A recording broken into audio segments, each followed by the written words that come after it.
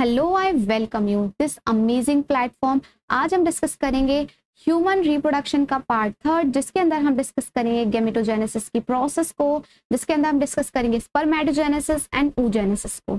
सबसे पहले हम स्टार्ट करते हैं गेमेटोजेनेसिस से सो। So, अब एनसीआरटी को रीड करेंगे, फिर हम इसको समझने की कोशिश करेंगे। The primary sex organ the testis in males and ovaries in the females हम पहले पढ़ कर आए प्राइमरी सेक्स ऑर्गन उन्हें बोल रहे हैं, जो गैमिट्स को प्रोड्यूस करते हैं और जो हॉर्मोन्स को रिलीज़ करते हैं। सो प्राइमरी सेक्स ऑर्गन हो गए टेस्टिस मेल्स के अंदर ओवरीज हो गई फीमेल्स के अंदर। प्रोड्यूस गैमिट्स गैमिट प्रोड्यूस करते हैं sperm and ovum respectively by the process called gametogenesis gametogenesis process के through in testis the immature male germ cell जिसे हम स्पर्मेटोगोनिया बोल रहे थे मदर सेल थी डिप्लॉयड थी produce sperm by spermatogenesis that begins at puberty ये ये एनसीआरटी कह रही है कि स्पर्मेटोगोनिया जो कि इमेच्योर मेल जर्म सेल हैं, वही प्रोड्यूस करेंगे स्पम को और इस प्रोसेस को बोलेंगे स्पर्मेटोजेनेसिस और ये जो प्रोसेस है स्पर्मेटोजेनेसिस की, वो स्टार्ट होगी जब प्यूबर्टी आएगी। जब एक चाइल्ड बॉडी मैच्योर में अडल्ट में कन्वर्ट हो जाती है जब वो सेक्सुअल रिप्रोडक्शन के लिए, जब वो रिप्रोडक्शन के लिए रेडी हो जाती है। ठीक है? द स्पर्मेटोगोनिया सिंगल को सिंगलर को स्पर्मेटोगोनियम कहेंगे सिंगल सेल को present on inside wall of seminiferous tubule मैंने जस्ट आपको बताया था, जब मैंने मेल रिप्रोडक्टिव सिस्टम बताया था तो उसमें मैंने बताया कि सेमनिफरस ब्यूल की जो वॉल होती है ना वहाँ पे सेल्स प्रेजेंट होती हैं स्पर्मेटोगोनिया वो क्या करेंगी? मल्टीप्लाई करेंगी एंड माइटोटिक डिवीज़न करेंगी एंड अपना नंबर इंक्रीज करती हैं। अच्छा ये जो पूरी प्रोसेस है ना स्पर्मेटोजेनेसिस की पहले मैं आपको एक फ्लो चार्ट में बता देती हूँ फिर हम एनसीआरटी से रीड करेंगे बहुत आसान हो जाएगी। सो so, एनसीआरटी कहती है होता क्या है कि बहुत सारी सेल्स होती हैं बहुत सारी सेल्स होती हैं जिन्हें हम बोलते हैं क्या? स्पर्मेटोगोनिया हम इसको थोड़ा सा छोटा कर ये स्पर्मेटोगोनिया ये है स्पर्मेटोगोनिया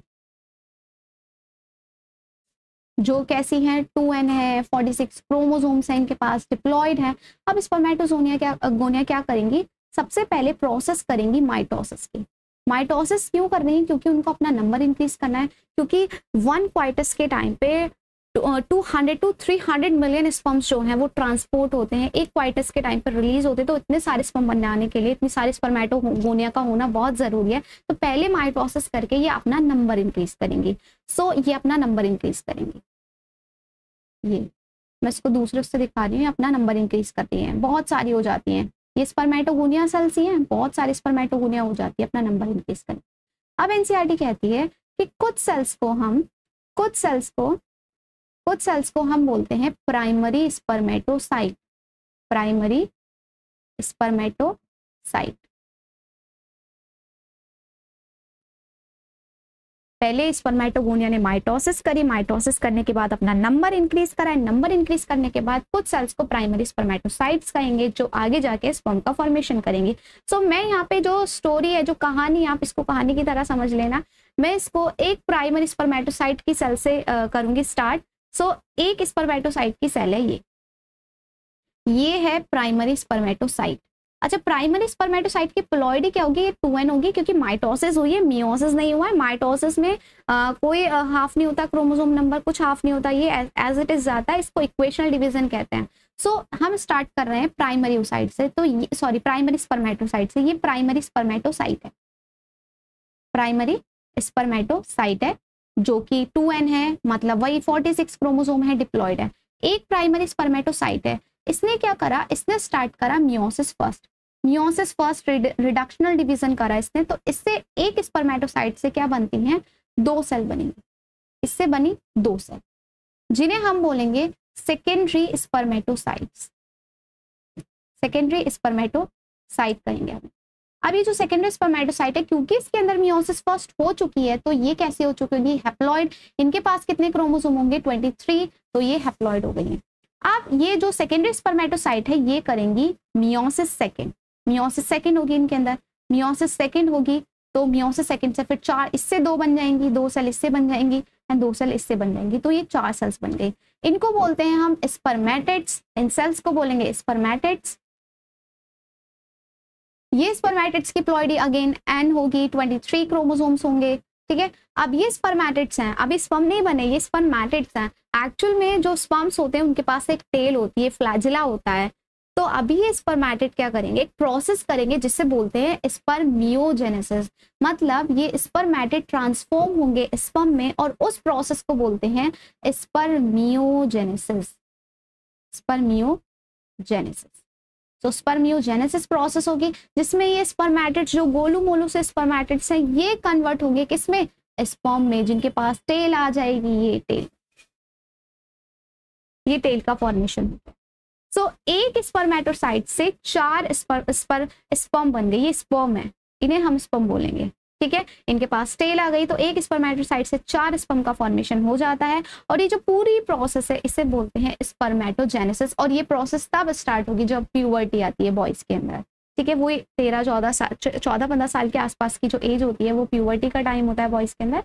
सो so, ये प्रोसेस तब स्टार्ट होती है। तो इस तरीके से स्पर्म का फॉर्मेशन होता है। स्पर्मेटोगोनिया पहले माइटोसिस करेंगे, फिर उसमें से कुछ सेल्स को हम प्राइमरी स्पर्मेटोसाइट्स कहेंगे और ये जो बच्ची कुछ सेल है फिर से माइटोसिस करेंगे, फिर से अपना नंबर इंक्रीज करेंगे ताकि स्पर्म का फॉर्मेशन कर सके। फिर ये प्राइमरी स्पर्मेटोसाइट्स जो है वो उन प्राइमरी स्पर्मेटोसाइट्स के अंदर मियोसिस होगी। फ़र्स्ट फिर उससे बनेंगे सेकेंडरी स्पर्मेटोसाइट सेकेंडरी स्पर्मेटोसाइट्स के अंदर होगी मियोसिस सेकेंड उससे बनेंगे स्पर्मेटेड स्पर्मेटेड के अंदर प्रोसेस होगी स्पर्मियोजेनेसिस जिससे बनेंगे स्पर्म तो ये पूरी प्रोसेस होती है स्पर्मेटोजेनेसिस की। अब हम एनसीआरटी को रीड करते हैं। आई होप आपको समझ में आ जाएगा। बहुत इजीली समझ में आ जाएगा। सो so, एनसीआरटी लिखती है the spermatogonia present on the inside wall of seminiferous tubule multiply by mitotic division mitotic मतलब माइटोसिस करेगी एंड इंक्रीज इन नंबर अपना नंबर इंक्रीज करेगी। फिर कहती है ईच स्पर्मेटोगोनियम इज़ डिप्लॉयड हर स्पर्मेटोगोनियम डिप्लॉयड है uh, जिसके पास 46 क्रोमोसोम्स होते हैं। अब एनसीआरटी कहती है सम ऑफ़ द स्पर्मेटोगोनिया कुछ स्पर्मेटोगोनिया को हम क्या बोलते हैं? प्राइमरी स्पर्मेटोसाइट्स कहेंगे। एंड पीरियडिकली अंडरको मियोसिस कह रहे हैं प्राइमरी स्पर्मेटोसाइट जो है, वो मियोसिस करेंगे। And a primary spermatocytes complete the first meiotic division और अपना फ़र्स्ट मियोटिक डिवीज़न कंप्लीट करेंगे। मियोटिक डिवीज़न को रिडक्शन डिवीज़न कहते हैं, क्योंकि इसमें क्रोमोसोम नंबर हाफ़ हो जाते हैं। टू एन तो एन हो जाएगा। And leading to and leading to formation of two equal haploid cells called secondary spermatocytes ये सेकेंडरी स्पर्मेटोसाइट्स का फॉर्मेशन होगा और बिल्कुल ये सेल्स इक्वल बनेंगे। इक्वल मतलब साइज़ में बिल्कुल सेम होंगे। उसके बाद which have only 23 chromosome each और उनके पास सेकेंडरी स्पर्मेटोसाइट्स के पास 23 क्रोमोसोम्स होंगे एन कंडीशन होगी प्लॉइडियम की एन होगी the secondary spermatocyte undergo the second meiotic division अब सेकेंडरी स्पर्मेटोसाइट जो है, वो सेकेंड मियोटिक डिवीज़न करेगा और प्रोड्यूस करेगा four equal haploid spermatid again जो स्पर्मेटिड्स हैं, वो भी इक्वली होंगे फोर होंगे और उनकी प्लॉइडी भी एन होगी ट्वेंटी क्रोमोसोम होंगे और इक्वल साइज़ में होंगे। And what would be the number of chromosome in the spermatid obviously हमें पता है कितना होता है 23 the spermatids are transform into spermatozoa spermatid transform होंगे स्पर्मेटोजोआ में। देखो जोआ इसलिए बोला क्योंकि इनके पास फ्लैजिला आ जाता है, इनके पास टेल आता है। जोआ मींस होता है फ्लैजिला और tail sperm by the process called spermiogenesis तो स्पर्मियोजेनेसिस की प्रोसेस होगी जिसमें स्पर्मेटिड ट्रांसफॉर्म हो जाएँगे स्पर्म में। फिर उसके बाद क्या होगा? आफ्टर स्पर्मियोजेनेसिस अच्छा स्पम क्या करता है ना? अब देखो, आगे क्या होता है? जैसे स्पम बन गया ये। ये स्पम बना स्पम बनने के बाद क्या करता है? ये ये एक सर्टोली सेल है सपोज़ तो सर्टोली सेल के हेड में अपना, वो सर्टोली सेल के सर्टोली सेल के साथ क्या करेगा? ये अपना हेड लेगा और सर्टोली सेल के अंदर एम्बेडेड कर देगा। ये स्पम है। उसने अपना हेड सर्टोली सेल के अंदर एम्बेडेड कर दिया। इस, और यहाँ से न्यूट्रिशन लेकर रिलीज़ हो जाएगा सेमनिफेरस ट्यूब्यूल से, और इसी प्रोसेस को बोलते हैं स्पर्मिएशन स्पर स्पर्मिएशन इस प्रोसेस को बोलेंगे स्पर्मिएशन सो अब एनसीआरटी लिखती है आफ्टर स्पर्मियोजेनेसिस जब स्पर्मियोजेनेसिस हो जाएगी sperm head become embedded in the Sertoli cell and are finally release from the seminiferous tubule by the process called spermiation तो स्पर्मिएशन प्रोसेस के थ्रू जो है, वो सेमिनिफेरस ट्यूब्यूल से रिलीज़ हो जाएगा और सर्टोली सेल से नरिशमेंट लेके वहाँ से निकल जाए। अब नेक्स्ट क्या है? अब नेक्स्ट देखते हैं। अब एनसीआरटी कहती है spermatogenesis start at the age of puberty puberty के टाइम पे स्टार्ट होगी due due to significant increase in the secretion of gonadotropin अच्छा एक मिनट इसको समझाने से पहले पहले ये डायग्राम देख लेते हैं। हम डायग्राम देखना भूल गए थे। ये आ, सबसे पहले ये स्पर्मेटोगोनियम है ठीक है? वो स्पर्मेटोगोनियम जिससे बनेंगी प्राइमरी स्पर्मेटोसाइट्स इससे बनेंगे फिर सेकेंडरी स्पर्मेटोसाइट सेकेंडरी स्पर्मेटोसाइट से स्पर्मेटेड बनेंगे स्पर्मेटेड से स्पर्मेटोजोआ या स्पर्म बनेंगे। फिर ये देखो स्पर्मेटोजोआ ने अपना जो हेड है वो सर्टोली सेल के अंदर एमिडेट कर लिया। ये सर्टोली सेल है। सर्टोली सेल के अंदर एम्बेडेड कर लिया, यहाँ से न्यूट्रिशन लेकर रिलीज़ होंगे और इसी प्रोसेस को बोलते हैं स्पर्मिएशन अच्छा नेक्स्ट जो है ना, इसको मैं अभी एक आपको फ्लो चार्ट में समझाती हूँ, आपके लिए इजी हो जाएगा, बहुत इजी हो जाएगा। अब देखो होता क्या है।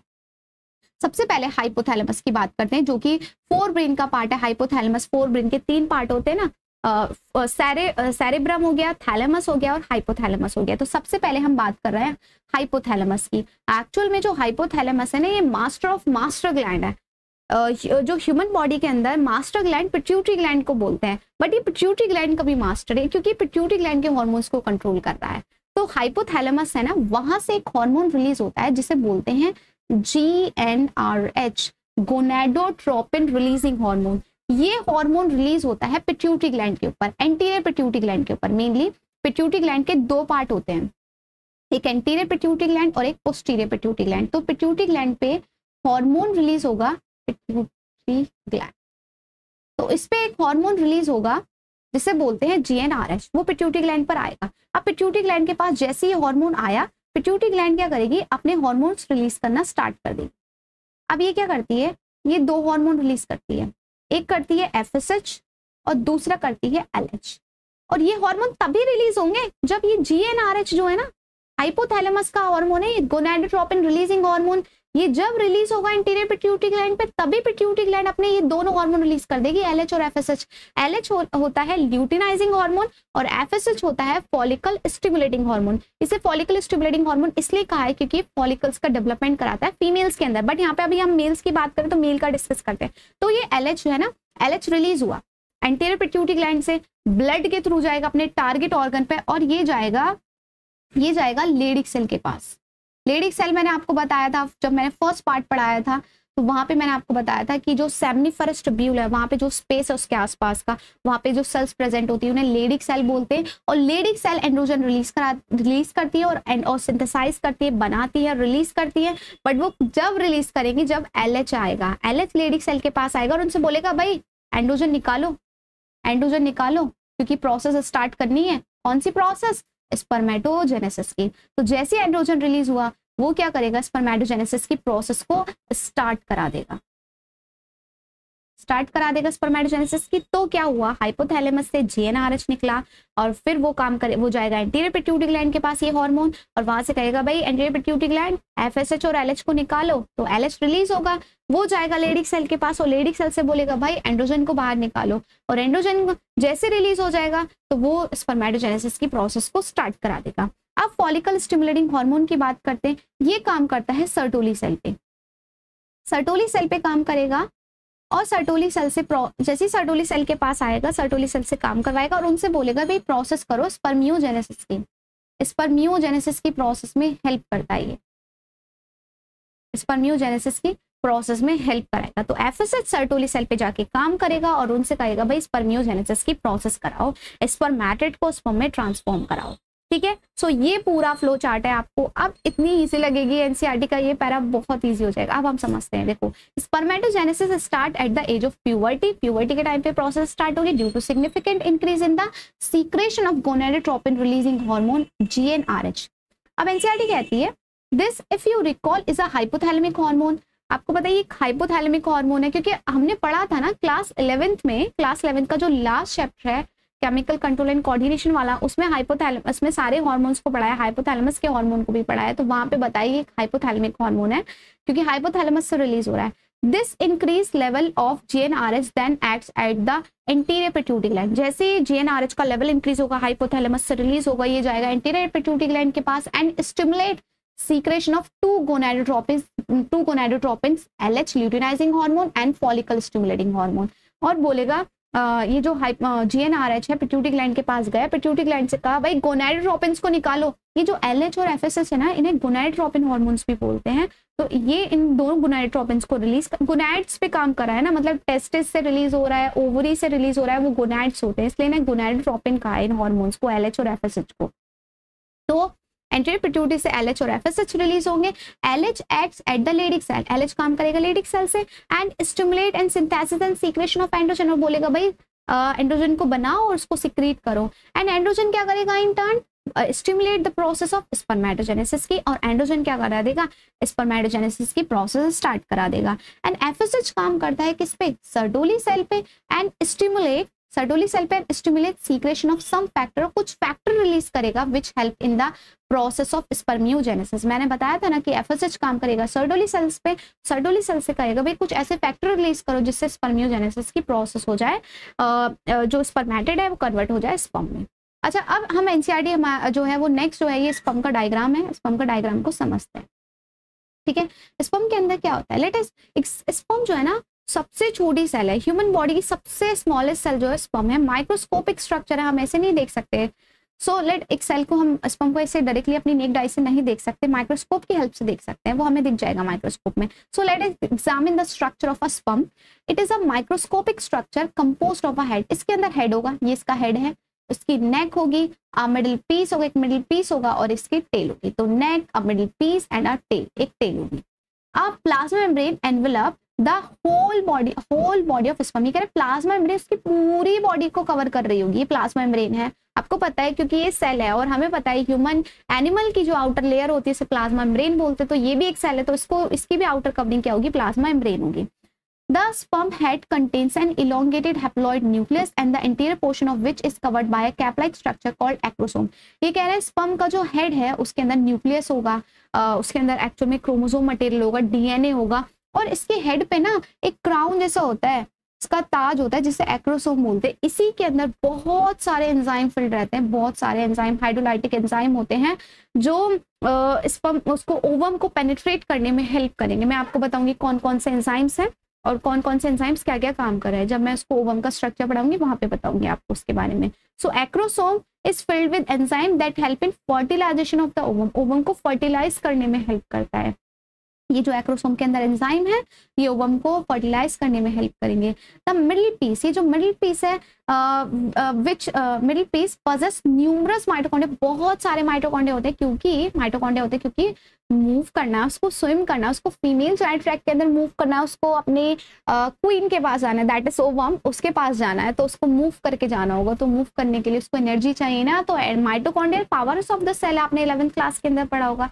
तो माइट्रोकॉन्ड्रिया से उसको एनर्जी मिलती है, जिसकी वजह से वो मूव कर पाता है, उसकी टेल मूव कर पाती है which produce energy for the movement of tail that facilitate sperm motility sperm की मोटिलिटी स्पम का मूवमेंट में हेल्प करेगा। इसेंशियल फॉर फर्टिलाइजेशन जो कि ज़रूरी है ना फर्टिलाइजेशन के लिए उसको पहुँचना तो पड़ेगा ना उससे मीट करना है, उसको किंग को क्वीन से मीट करना है तो उसको जाना पड़ेगा, उसको भागना पड़ेगा। So the human male ejaculate अगर ह्यूमन मेल्स की बात करें ejaculate about 200 to 300 million sperm during a coitus एक क्वाइटस एक पॉपुलेशन के टाइम पे ह्यूमन जो है वो 200 से 300 मिलियन स्पम्स जो है वो रिलीज़ करता है इजैकुलेट करता है फीमेल जेनेटिक ट्रैक्ट के अंदर of which for normal fertility मतलब नॉर्मल फर्टिलिटी बात करें, एक नॉर्मल सीमन की, एक मेल का एक नॉर्मल सीमन की बात करें कि उसके अंदर क्या चीज़ होनी चाहिए। So at least sixty percent sperm must have normal shape and size जो सिक्सटी परसेंट स्पम है ना वो नॉर्मल शेप और साइज़ के होने चाहिए। उनका शेप बिल्कुल एग्जैक्ट सही होना चाहिए और साइज़ होना चाहिए। सबके पास टेल होनी चाहिए। क्योंकि सारे स्पम में ऐसे नहीं बनते ना, सबके पास टेल नहीं होते, कुछ खराब भी बन जाते हैं। तो ये कह रहे हैं एक नॉर्मल सीमन के अंदर सिक्सटी एक नॉर्मल सीमन है तो उसके अंदर सिक्सटी परसेंट जो स्पम होंगे ना, वो नॉर्मल शेप और साइज़ के साइज़ के होंगे। And at least forty percent sperm जो होंगे ना must them must show vigorous motility और बहुत तेज़ी से मोटिलिटी शो कर रहे होंगे फोर्टी परसेंट स्पर्म ऐसे होंगे जो बहुत तेज़ी से मोटिलिटी शो कर रहे होंगे, बहुत तेज़ी से भाग रहे होंगे। सो ये सिंपल सा स्पर्म का स्ट्रक्चर है, आपको समझ में आ गया। बहुत सिंपल सा है, बस आपको ध्यान रखना है इसके कौन कौन से पार्ट होते हैं। स्ट्रक्चर को भी अच्छे से करना है, क्योंकि स्ट्रक्चर बनाना आपको आना चाहिए। अब नेक्स्ट हम देखते हैं आगे। तो आगे एनसीआरटी कहती है sperm release from the seminiferous tubule are transported by the accessory duct sperm जो रिलीज़ होगा सेमिनिफरस ट्यूब्यूल से वो ट्रांसपोर्ट होगा एसेसरी डक्ट्स में। एसेसरी डक्ट्स आपने पढ़ी थी कौन कौन सी थी? मैंने फ़र्स्ट पार्ट में पढ़ाया था जब मैंने इसको स्टार्टिंग करी थी वहाँ पे मैंने पढ़ाया था चैप्टर की। तो उसमें हमने बता, बताया था मैंने रेडी टेस्टिस है उसमें वॉसिफ्रेंशिया है एपिडिडाइमस है वॉस डिफरेंस है ये एसेसरी डक्ट है ये हेल्प करेंगे स्पम को ट्रांसपोर्ट करने में। And secretion of epididymis vas deferens seminal vesicle and prostate are essential for maturation and motility of sperm ये कह रहे हैं कि ये जो एपिडाइमस हो गई वॉस डिफरेंस हो गई समाइनल वेसिकल हो गई जो सीक्रेशन है ना, इनका, ये स्पम की मैचुरेशन के लिए बहुत ज़रूरी है, उसकी मोटिलिटी के लिए बहुत ज़रूरी है।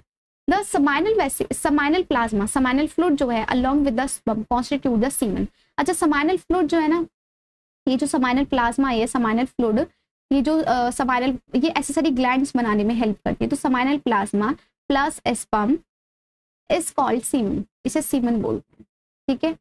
ये सीमन रिलीज़ होता है। स्पम को एक मूव करने के लिए एक इन्वायरमेंट चाहिए, इसको मूव करने के लिए इन्वायरमेंट चाहिए तो वो समानी प्लाज्मा प्रोवाइड कराएगा। तो समानी प्लाज्मा जो है, ये बनाती हैं एसेसरी ग्लैंड्स और स्पम इसे साथ में बोलते हैं सीप तो the function of male accessory ducts and glands are maintain by testicular hormone that is androgen तो ये सारी ग्लैंड्स का फ़ंक्शन कब क्या रिलीज़ करना है कब क्या जाना है कैसे स्पर्म को जाना है ये सब एंड्रोजन के ऊपर डिपेंड करता है। एंड्रोजन जो है वो बहुत इंपॉर्टेंट हार्मोन है टेस्टिकुलर हार्मोन है क्योंकि टेस्टिस रिलीज़ हो रहा है। सो so, ये सिंपल सी प्रोसेस है। मेल की अब बात करते हैं हम। नेक्स्ट जो प्रोसेस है ऊ जेनेसिस की जो कि फीमेल्स के अंदर होती है।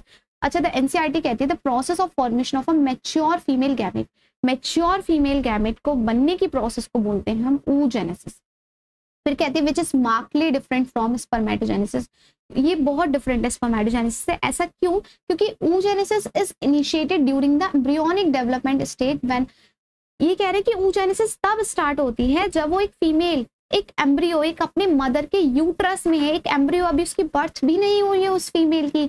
वो एक अपनी मदर के यूट्रस में, एक एम्ब्रियो की फॉर्म में है।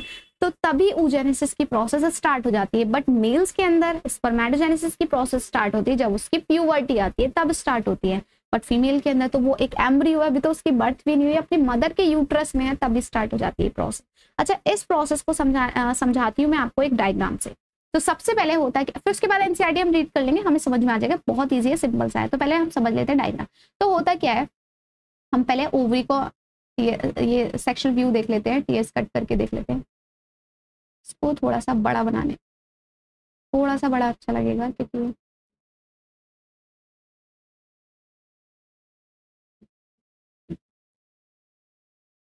हाँ, ये थोड़ा सा दोबारा।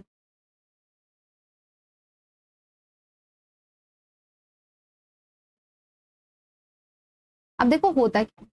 सबसे पहले सबसे पहले क्या होता है? बहुत सारी अभी उसी, वो जो एक गर्ल अभी एक एम्ब्रियो में है मदर के यूट्रस में तो उसके अंदर क्या होता है, बहुत सारी उबोनियाँ बनती हैं। एनसीआरटी लिखती है कपल ऑफ़ मिलियंस ऑफ़ उबोनियाँ बनती हैं, और बर्थ के बाद कोई उबोनिया ऐड नहीं होती है तो बहुत सारी उबोनियाँ होंगी। जैसे स्पर्मेटोगोनिया थी मदर सेल ऐसे ही फीमेल के अंदर क्या होती हैं उबोनिया होंगी। सो ये एक उबोनिया को मैं फॉर्म करके दिखा रही ये एक उबोनिया है, ठीक है? ये उबोनिया है।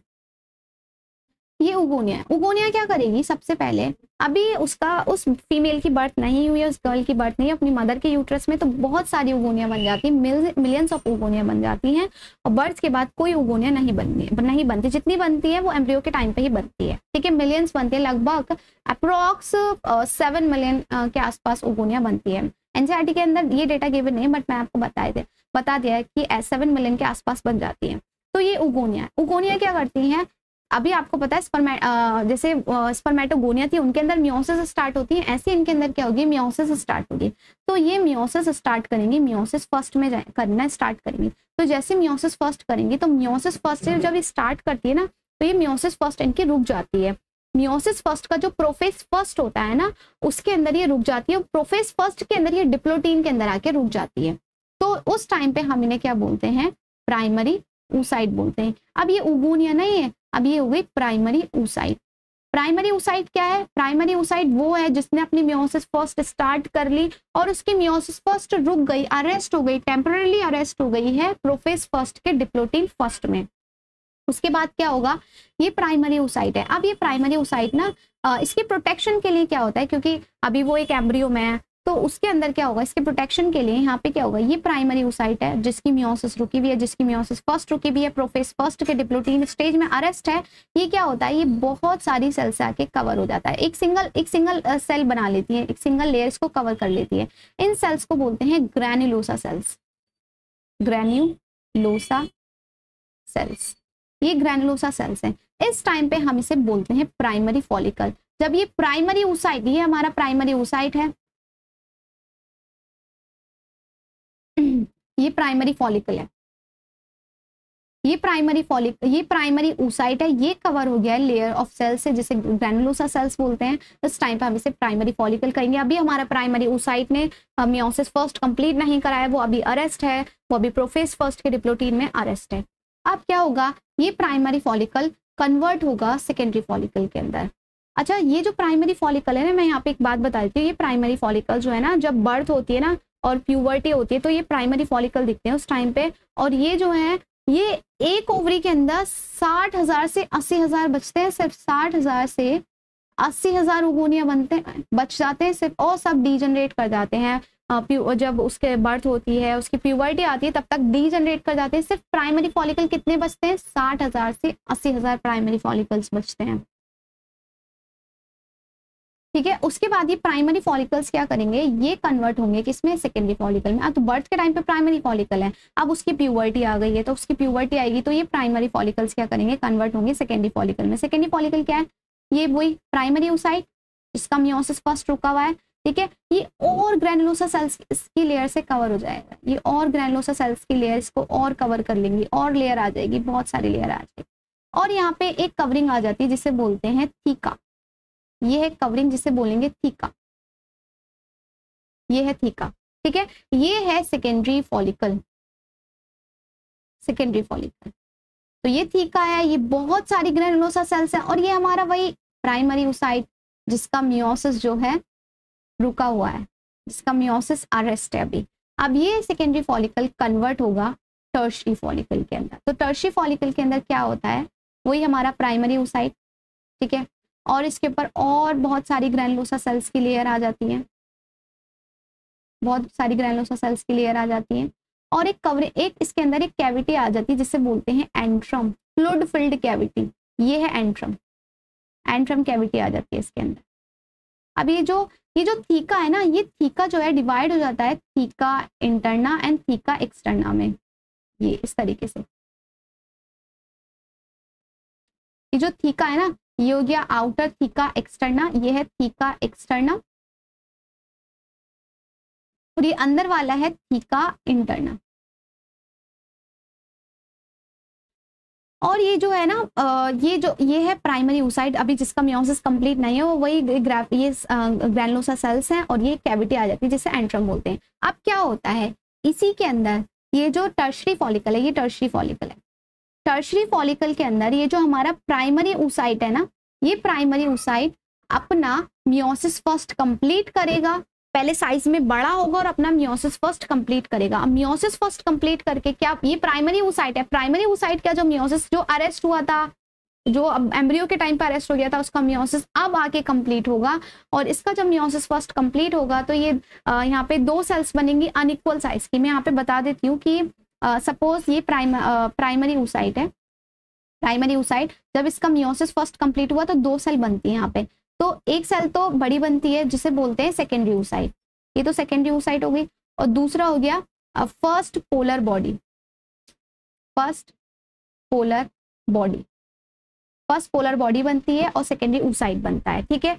फ़र्स्ट पोलर बॉडी का क्या होता है? ये डिजनरेट हो जाती है ग्रो करती है क्या? है एनसीआरटी कहती है, इसका इसका इसका हमें नहीं पता कि इसका आगे क्या होता है। और ये जो है, ये सेकेंडरी ऊसाइट है। तो टर्शरी फॉलिकल के अंदर ही मियोसिस फ़र्स्ट कंप्लीट होता है। ये बहुत इंपॉर्टेंट है, ये ध्यान रखना है आपको। फिर क्या होगा? आगे जाके ये टर्शरी फॉलिकल ट्रांसफॉर्म होगा मेच्योर फॉलिकल और ग्रेफिन फॉलिकल के अंदर। अब देखो ये ये हमारा सेकेंडरी ऊसाइट हो गया, क्योंकि इसने अपना मियोसिस कंप्लीट कर लिया। प्राइमरी ऊसाइट नहीं बोलेंगे इसको सेकेंडरी ऊसाइट बोलेंगे। और इसके पास एक कवरिंग आ जाती है, इसकी कवर करने के लिए इसको लेयर आ जाती है, जिसे जोना पेल्यूसिडा बोलते हैं। और बहुत सारी वो ग्रैनुलोसा सेल्स जो इसको प्रोटेक्ट करती हैं तो ये बहुत सारी ग्रैनुलोसा सेल्स होती हैं जो इसको कवर करती हैं। और एक वही कैविटी एंट्रम एंट्रम कैविटी थोड़ी सी बड़ी हो जाती है fluid filled cavity antrum antrum होगी। और इसके ऊपर वही थीका एक्सटर्ना थीका इंटरना ये सब, ठीक है? थीका इंटरना और थीका एक्सटर्ना ये होगा इसके अंदर।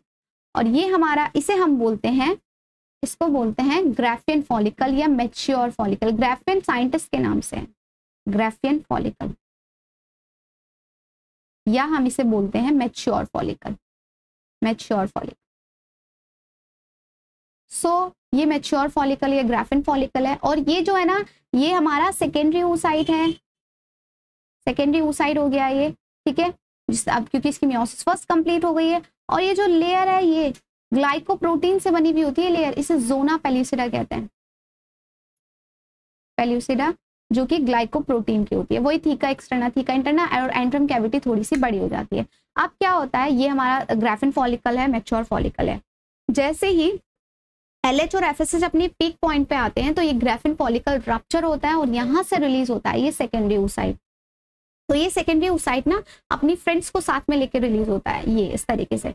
ये सेकेंडरी ऊसाइट है और इसकी लेयर ये जोना पेलिसिडा जो ग्लाइकोप्रोटीन से मिलकर बनी हुई है ए सेल्युलर है सेल से मिलकर नहीं बनी हुई ग्लाइकोप्रोटीन से मिलकर बनी हुई है और कुछ सेल्स को लेकर यहाँ से रिलीज़ होता है ग्रेनुलोसा की सेल से लेकर यहाँ से रिलीज़ होता है इन सेल्स को लेकर यही ग्रेनुलोसा सेल्स आगे जाके कोरोना रेडिएटा सेल्स बनाती है। तो ये है हमारा सेकेंडरी ऊसाइट ठीक है? ग्राफिन फॉलिकल रप्चर होगा यहाँ से रिलीज़ होता है सेकेंडरी ऊसाइट और इसी प्रोसेस को बोलते हैं ओव्यूलेशन ये प्रोसेस को बोलते हैं ओव्यूलेशन अब क्या होगा?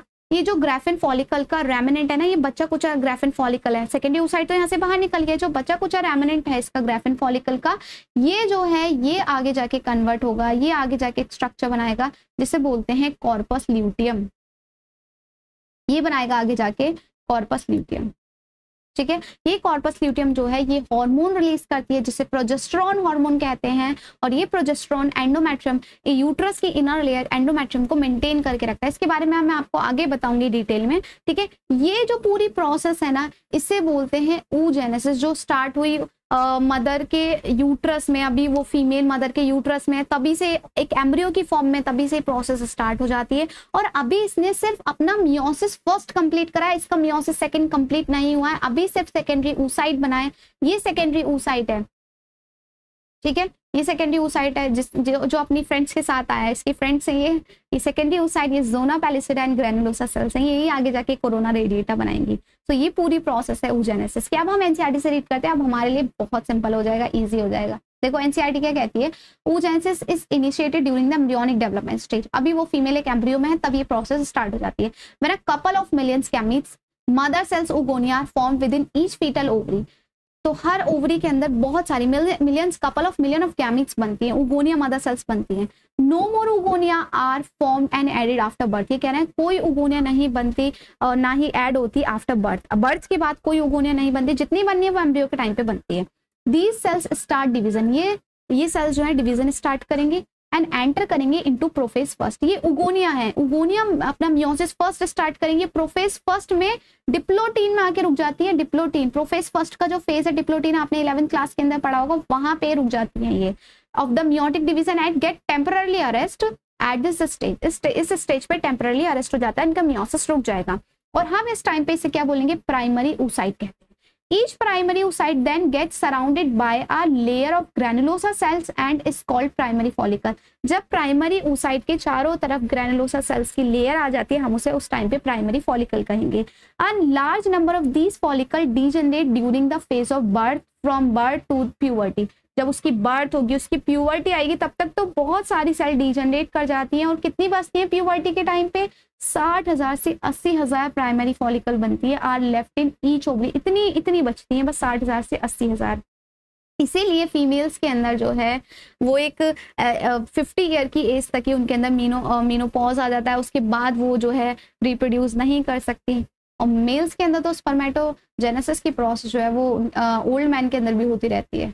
द प्राइमरी अब आगे देखते हैं। The primary follicles get surrounded by more layer of cells अब प्राइमरी फॉलिकल्स जो है, उसके पास बहुत सारी ग्रैनुलोसा सेल्स की लेयर आ जाएगी और एक कवरिंग आ जाएगा न्यू थीका कवर आ जाएगा।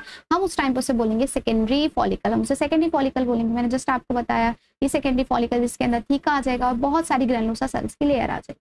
अब आगे क्या होगा? The secondary follicle soon transform into a tertiary follicle. Secondary follicle transform होगा tertiary फॉलिकल में। Tertiary फॉलिकल की क्या कैरेक्टरिस्टिक है? उसके अंदर एक फ्लूड फिल्ड कैविटी होगी जिसे एंट्रम बोलते हैं। और जो थीका है ना theca layer is organise into an inner theca interna and outer theca interna externa तो इनर थीका इंटरना हो जाएगी एंड आउटर थीका एक्सटर्ना हो जाएगी। थीका डिवाइड हो जाएगी बस दो लेयर्स में। And it is important to draw your attention NCERT कहती है बहुत यहाँ पे इंपॉर्टेंट है आपको अटेंशन देना है।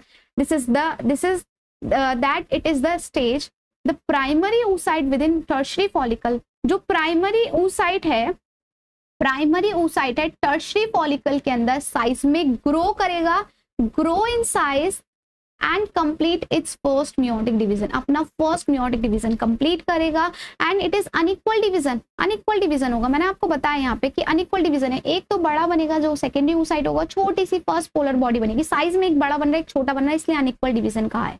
तो ये एक अनइक्वल डिवीज़न है and resulting in the formation of a large haploid secondary oocyte और एक बड़ा हेप्लॉइड अच्छा हेप्लॉइड होगा, ध्यान रखना है, क्योंकि मियोसिस होगा ये तो हेप्लॉइड होगा एन होगा ट्वेंटी थ्री क्रोमोसोम होंगे इसके अंदर। तो हेप्लॉइड सेकेंडरी ओसाइट बनेगा and a tiny first polar body छोटी सी फ़र्स्ट पोलर बॉडी बनेगी। The secondary oocyte retain bulk of the nutrient rich cytoplasm of the primary oocyte ठीक है ना? जो सेकेंडरी ओसाइट है, उसके अंदर प्राइमरी ओसाइट का जो है न्यूट्रिएंट रिच साइटोप्लाज्म तो प्रेजेंट होगा, उसका बल्क तो प्रेजेंट होगा। ठीक है? तो does the first polar body born out of his first meiotic division divide further और degenerate at present we are not very certain about this ये कहना जो फ़र्स्ट पोलर बॉडी है, वो आगे डिवीज़न करेगी या डिजनरेट कर जाएगी, अभी हम इस टाइम पे से नहीं जानते। Tertiary follicle further change into Graafian follicle मैंने बताया आपको टर्शरी फॉलिकल जो है, वो कन्वर्ट होगा किसमें? ग्राफिन फॉलिकल या मेच्योर फॉलिकल में। एंड उसके बाद क्या होगा? कन्वर्ट हो जाएगा ग्राफिन फॉलिकल में and the secondary oocyte form a new membrane called zona pellucida और जो सेकेंडरी oocyte है, मैंने बताया था सेकेंडरी oocyte जो है, अपने चारों तरफ़ एक लेयर बनाएगा जिसे जोना पेल्यूसिडा कहते हैं।